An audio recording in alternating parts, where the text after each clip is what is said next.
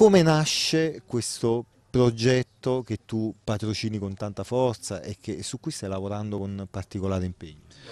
Semplicemente nasce dal mio ruolo universitario, come tu dicevi, sono 15 anni che insegno in molte università italiane e in particolare al Solo Orsola Benincasa di Napoli eh, tutto ciò che ha a che fare con la comunicazione video, di volta in volta eh, il giornalismo televisivo, oppure il documentarismo, oppure il reportage. E bisogna assolutamente che le nuove leve italiane eh, sappiano cosa succede nel mondo, quali sono i percorsi eh, che non sono solo culturali o creativi, su questo gli italiani sono abbastanza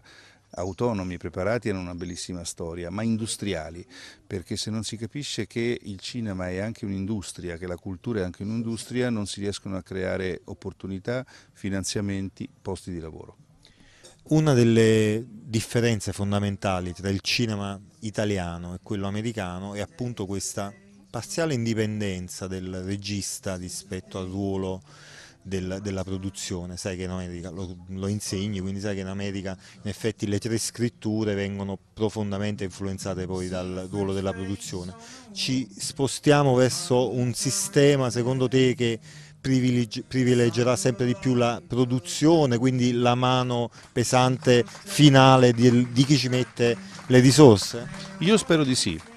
perché in America eh, grazie a questo sistema vivono di cinema decine o centinaia di migliaia di persone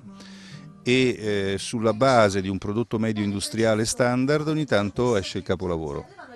In Italia invece si punta tutti a fare il capolavoro che praticamente non esce mai e quando esce è soltanto una citazione del nostro glorioso passato e quindi bisogna un attimo avere il coraggio di dire benvenga la mano del produttore se mi consente di fare un lavoro che produce lavoro per tanti, scusate il gioco di parole, e poi le risorse per tentare il capolavoro.